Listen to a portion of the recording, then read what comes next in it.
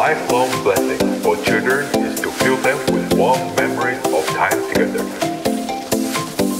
Happy memories become treasure in the heart to pull out on the tough days of adulthood, and here we are.